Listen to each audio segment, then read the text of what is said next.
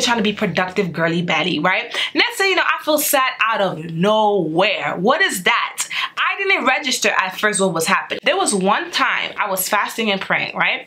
And I was falling asleep, okay, guys?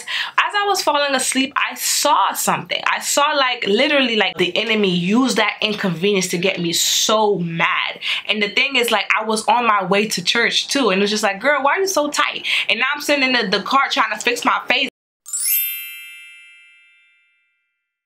Welcome back to those of you who come back. It's your girl with another video. On this channel, I produce transformative faith-based content. And the goal is to push you and inspire you on your walk with Christ Jesus. On this channel, it's all about transformations, all about growth, and it's all about Jesus because we love Jesus here.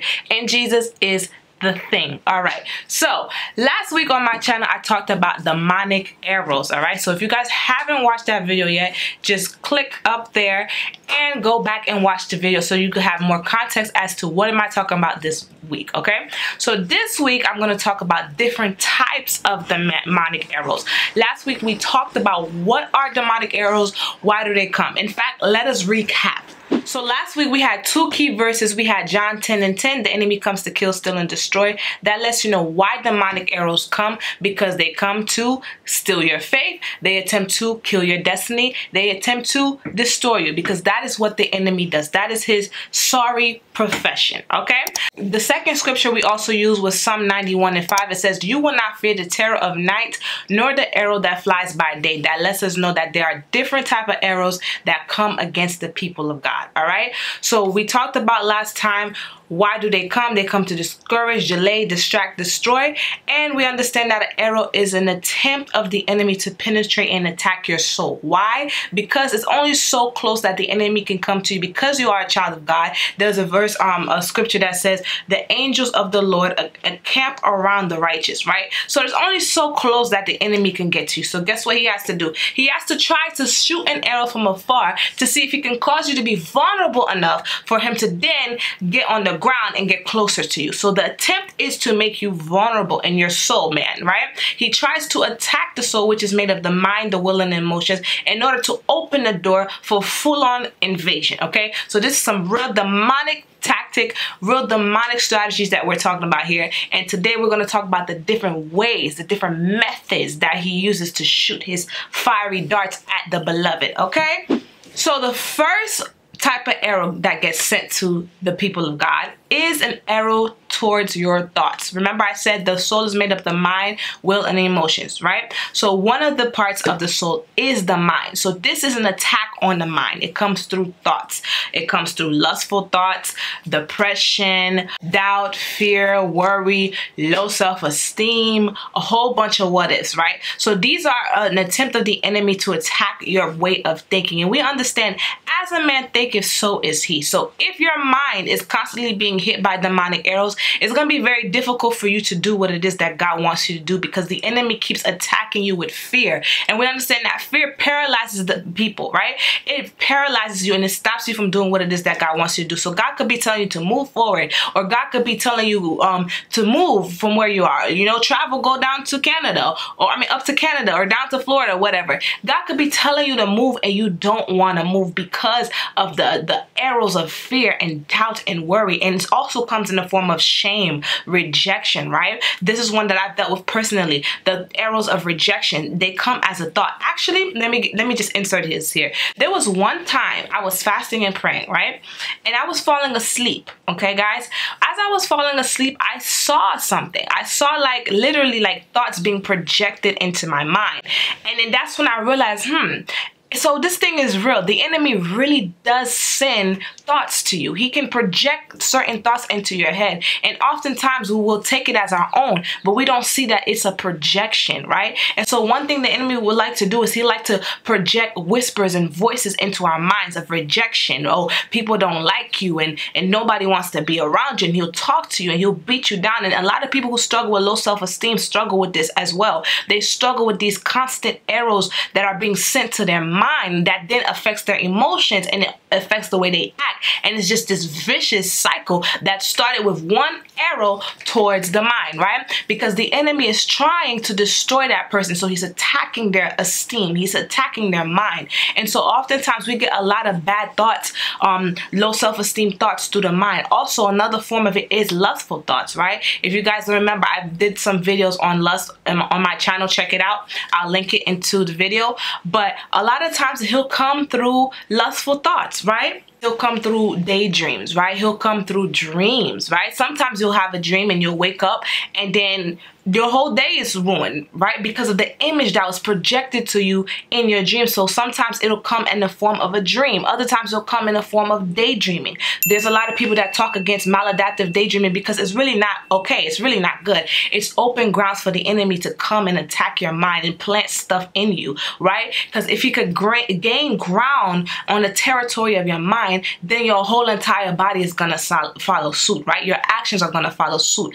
All right. So these are the different different ways that the arrows hit our thoughts okay so we have to be very very careful and guard what it is that we're watching what it is that we're entertaining what it is that we're listening to the different thoughts that are popping up in our head don't just accept every single thought as your own because oftentimes it's not yours all right so the second thing that we find is the arrow towards your emotions all right so there was a time I was actually sitting down I think I talked about in the last video I was just sitting down minding my business everything was okay I'm over here trying to be productive girly baddie, right? Next thing you know, I feel sad out of nowhere. What is that? I didn't register at first what was happening. I was just like, yo, this is this is sad. And I started thinking about my current circumstances. And then I went to sleep.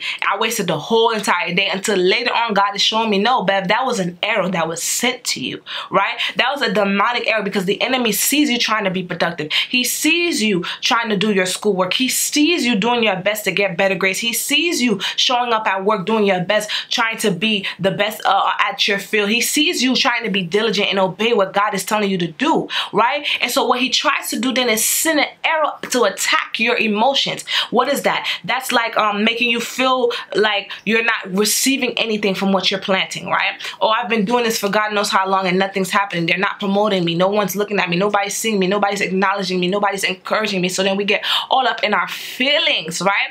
And we don't understand at the moment that is happening because it's already it already hit us, right? So we're sitting there in the emotions and guess what happens? Like I said, arrows are meant to make you vulnerable for a stronger attack. So once you sit there and you give way to the emotions, then the enemy can come with stronger attacks. Then he can get you to go back into different sins that you left, right? He gets he gets to come and make you go backwards while you're supposed to be going forward. But because he was able to hit you in the area of your emotions, now he's able to make you go backwards. And some of us, that includes those of you who had ex-boyfriends or ex-friends, ex-best friends, etc., etc. God told you to stop talking to this person. God separated you from this person for a reason, but here you go because you felt that arrow of loneliness. Now all of a sudden you're back on their phone, you're back on their line, you now trying to link up, you now trying to talk, forgetting the reason why you cut communication with this person in the first place. Why? Because the enemy wants to be able to come and infiltrate your space, right? And that's gonna lead me to the second arrow, which is the arrow of relationships okay? Oftentimes the enemy will send arrows in the form of relationships. We hear this all the time, okay? Bad friends, bad boyfriends, bad girlfriends, bad, bad, bad relationships that come to destroy and derail your destiny. And oftentimes the people in these relationships are not typically evil to the core. Some of them are evil. Some of them are just not good people. Others, however, are just wounded people. And the thing is, the enemy loves using wounded people. Take it from me, somebody who knows. The enemy loves to use wounded people to destroy other people, right? And that's the reason why it's so important to go through a journey of healing and growth so that you won't be used as an, uh, a weapon against another believer, right? And so oftentimes it'll come in the form of relationships. The distractions or the enemy will cause you to turn a person into an idol which would definitely delay your your your destiny because then you got a problem with God. The minute you turn someone into an idol now it's you and God got beef and then you got to be sat down in some type of wilderness and that's just not what we want. We don't need we don't have time to waste years being corrected by God just because we want to turn people into idols right? So another way that the enemy uses relationships is their mouth. Oftentimes the enemy will go through the mouth of somebody to say things to you that will hurt you that will destroy you that will hinder you that will discourage you. I remember this one time I was in church and I was sitting next to somebody that I called my friend and I was just that girl that was kind of like hype with the things of God. And I remember standing up a little too early when they called for the scripture. So I stood up and everybody was sitting down. The girl was sitting next to me. She was looking at me like, you do too much. Like she was so embarrassed that I stood up. And I remember just feeling so like weird. I'm just like, oh my gosh, like I really did that. She totally embarrassed me. And if I really would have sat and dwelled on it, it would have made me feel bad for being excited for the things of God. But in reality, it was just the enemy using that person to destroy my fire for God. It was the enemy using that person to kind of like you know, put me down. And it's not to say that the person innately is evil. It's just to say the enemy likes to use wounded people. If you're somebody who's wounded, you are just free game. Like you are free, easy access because the enemy can go through the wounds and your emotions to hurt other people, right? So another form is misunderstandings. Oftentimes with a lack of communication, you can get hurt. Now all of a sudden you, you, you weak on the battlefield because now you have to go through the process of forgiving someone because they offended you. Another form is bullying. I talked about that testimony on my channel, being bullied. The, the enemy used that as a demonic arrow to get to me at an early age. So these are different ways that the enemy will try to destroy your destiny. The arrow that comes through your relationships, which is the reason why you have to be very careful with who you enter relationships with. And you have to be very careful not to idolize or give these relationships too much power over you. Okay? So, the last arrow we're going to be talking about is the arrow of inconveniences. Oh my goodness. I could tell y'all about this. I, just yesterday, I was so pissed off because one of my cousins did something that pissed me off. It was an inconvenience to me, but it didn't have to get me that upset. You know what I'm saying? I was just upset because of my own little stuff, but that just showed me how the enemy used that inconvenience to get me so mad. And the thing is, like, I was on my way to church too, and it was just like, girl, why are you so tight? And now I'm sitting in the, the car trying to fix my face. And you know, when you get mad, you stay mad. Like, I don't know if you're that type of person. I'm the type of person when I get mad, I be staying mad, and I be feeling like low key ashamed to like stop being mad. so I'm just like, just like fix myself up. But anyways that's an arrow. Inconveniences. Little inconveniences. Or here's another one. Things that just stop working for absolutely no reason right?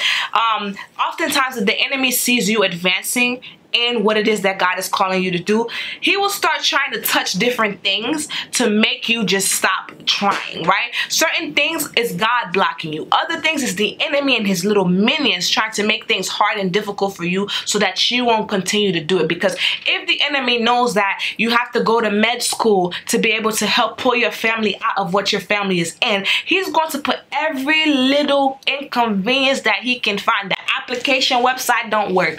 Oh, you didn't have the the money. Oh, you had the money, but you didn't go to the bank on time because your dad took the car. This, that, all these inconveniences to block you, stop you, and discourage you because he knows that that's going to bring you a step closer, right? Because I told you he cannot get all up in your grill. All he could do is try to keep attacking that soul of yours by throwing his arrows against you. But now, what does that let us know? That brings us back to the scripture we had last video, 2 Thessalonians Thessalonians, 2 Thessalonians 3 and 3. It says, But the Lord is faithful, and he will strengthen you and protect you from the evil one. And in the last Psalm that we had, it says that you will not fear the arrows that come by day, all right you will not fear the arrows that come by night right so the arrows that the enemy sends us they can hurt they can be inconvenient but they cannot take us out they simply strengthen us because god lets us know that he gives strength to those who are weary. And he lets us know those who wait upon the Lord, he shall renew their strength and they shall mount up on wings like that of an eagle. They can bother you. They can tire you because the scripture even says even the young become weary and they, they, they get tired and they faint. But those who wait upon the Lord, right, he shall renew their strength because that lets us know that despite the fact that the enemy will keep trying to choop, choop, choop at us, guess what? We have a solution that I'm going to talk about in the next video. Make sure you come back for the solution because God lets us know exactly what we can do against these arrows, right? So we must understand that God will send us help against the enemy and no temptation has overcome us that is not common to all men. God will always send help. God will always give you a way. God will always strengthen you and help you because he is the good shepherd. So I hope this was able to bless you the different types of demonic arrows if I missed out on one, feel free to comment below to help the other people that are also watching this video and discuss different types of um, examples of demonic arrows that you find in your life. So thank you guys. If you have finished watching the video, you are a trooper. Until next time, I'm going to see you next time.